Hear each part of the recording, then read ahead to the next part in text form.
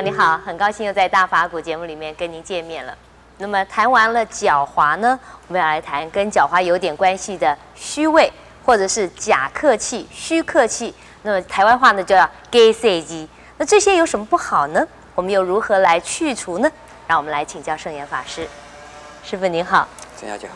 是，呃，师傅您谈完了狡猾，是不是跟我们接下来谈谈，就是呃虚伪啊，跟虚客气哈，或者我们刚刚讲的 gay 色机，它对对己对人有什么影响吗？虚的就是假的了，假的当然是对自己也不好，对人也不好了。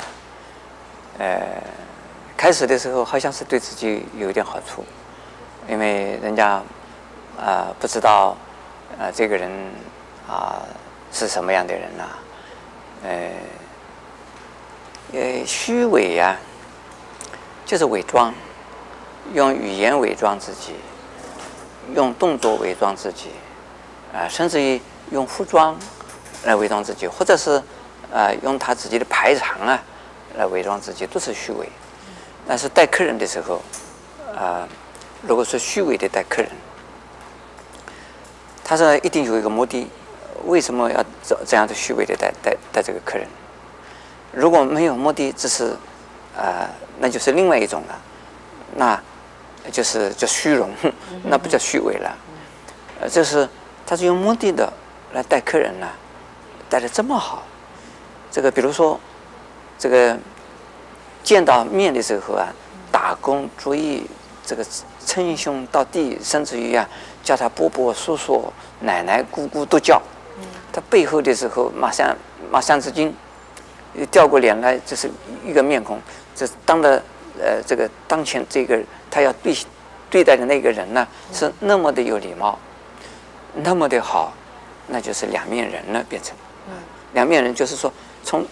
当着面是一个人，他背后另外一一一个人，那么这个心呢，就是一种虚伪的所以这是虚伪的呃一种心态啊，对自己来讲就是一种啊，真的表演或者是一种啊呃这个假装的啊，装出来的一种态度。有的人呢，这个脸上说皮笑肉不笑，这个笑的时候好像是他真的在笑。其实他内心根本没在笑，他笑笑给人家看的，这是伪装的笑容。那笑的这个非常的这个开朗，呃，笑的非常的欢欢畅，那是真的笑。所以性情中人那个笑的时候，那个笑声、笑的面容，就是人家一看就晓得啊，这个人很可爱。阴险的人笑的时候笑得冷冰冰。是 是。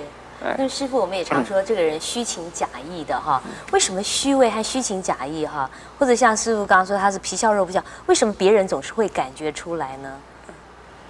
呃，虚情假意有的时候，这个人家感不感觉不到，呃，这个只要注意才能感觉得到，呃，留心，或者是呢，呃，已经让人家有怀疑了，才让人感觉得到，人家不怀疑的时候。呃，就觉得哎，他对我很有礼貌，对我很客气，对我很尊敬，对我很重视，啊，会这个样子。那但是呢，呃，有了怀疑的心，呃，有一种怀疑的一种啊感觉的时候呢，你在观察，在听，觉得啊，这个是假的，啊，这个，所以这个虚情假意啊，它是一定有目的的。我刚才讲，如果他是希望达成这个目的。达成他要达成达成的目的，他这个这个什么好话都会讲，呃，什么这个好的动作、礼貌的动作都会有。那么这种情形呢，呃，这个呃，我们见到的这种人要小心。是啊，为什么要小心？嗯，突然间为什么这个人对自己这么好？这个陌生的人，或者是呢，啊，不是很很熟悉的人，或者是没什么原因、没什么道理，为什么对我这么好？啊，有什么道理？他对我这么好是什么原因？一定是啊。如果是已经相处久了的，那知道啊，这个人啊，就是虚心，就是虚情假意的。我呃遇到曾经遇到过一个人呢，他遇到什他见到什么人，都把人家尊称称那个用用尊称称人家。呃，比如比如说那个小这个女孩子呢，很小的小女孩，她也称她为啊小姐，这个啊大小姐，哦这个贵公子，这个啊贵千金，非常客气啊非常的客气。但是呢，有的人就叫人家感觉到这个嗯有点汗毛有点竖有点竖起来，对啊，鸡皮疙这瘩。鸡皮疙瘩，这个是不适合，这个不适合叫她这样的一个称呼。这对方听了以后也会觉得肉麻但是他已经成习惯了。那这个这种，这个叫做，呀，是是善意的虚情假意，可能是这样子，因为他自己已经习惯，可是人家感觉上不是很舒服。是哎，那么这种呃虚情假意，他并没有什么目的，但是多半的人虚情假意一定是有目的，要小心。那么有的人就说，哎，如果我伪装，我是伪装一辈子呢？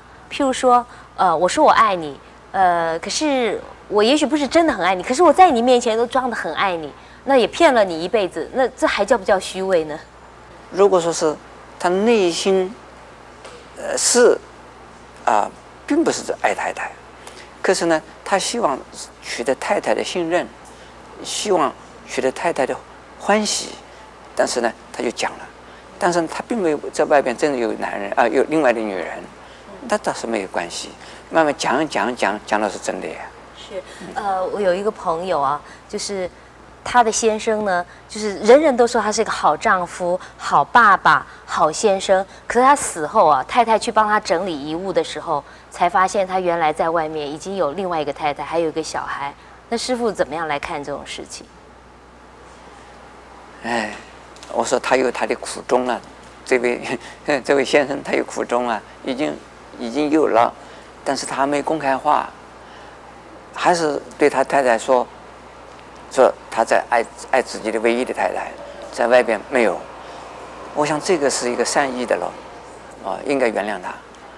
呃，如果他已经明目张胆的还在外面讲，这个说我是这个最爱你，其他的外边的这个都是我呃我我逢场作戏的，你不要不要不要吃不要吃醋了，这个没有关系的，不要认真了。